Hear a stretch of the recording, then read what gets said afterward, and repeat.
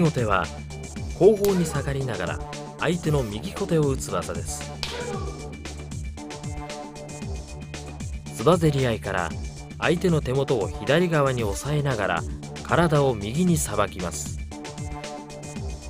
相手が反発した瞬間体を左にさばきます。引き後手はこの時生じた右小手の隙を素早く捉えることがポイントです。